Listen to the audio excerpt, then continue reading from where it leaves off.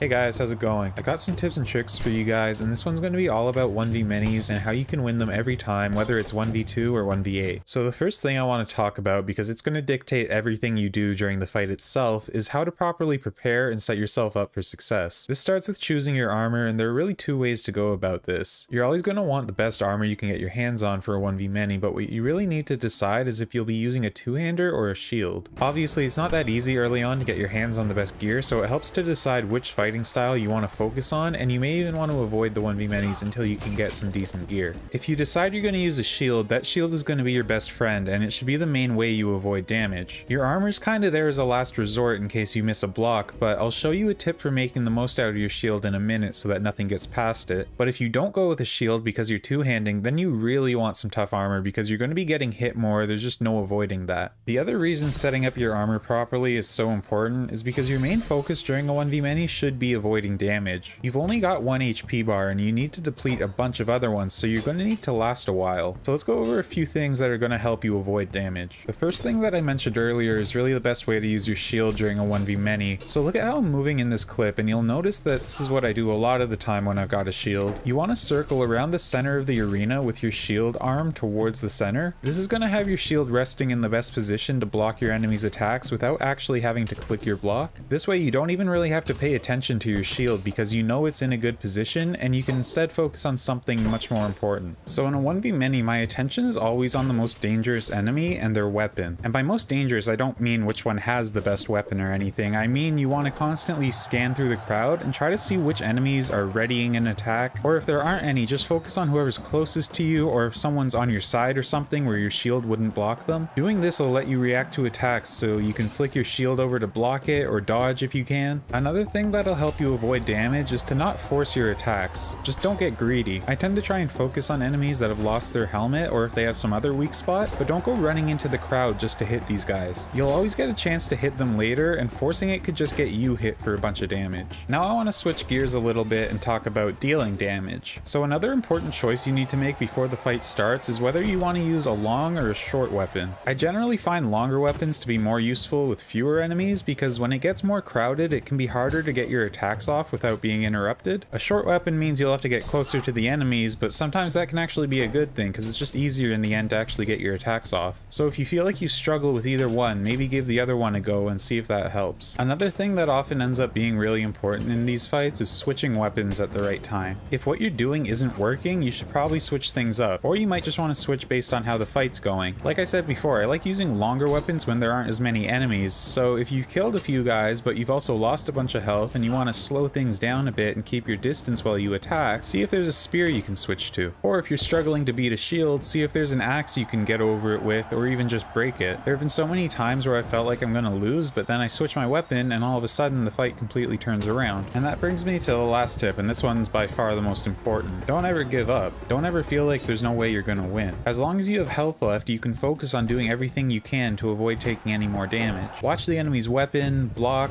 dodge. As long as you get that stuff right, you'll get more opportunities to deal damage and finish them off. Don't worry if you're getting deep into the fight and there's still a bunch of guys left either. What often happens is that your damage has been spread out across a bunch of them, and while nobody's died yet, they're all about to, and they'll start dropping like flies if you just stick with it. And that's that for this one, so I really hope these tips help you guys with your fights. If you want to see more tips, click that video on the screen, and as always, thanks for watching, and I'll see you next time.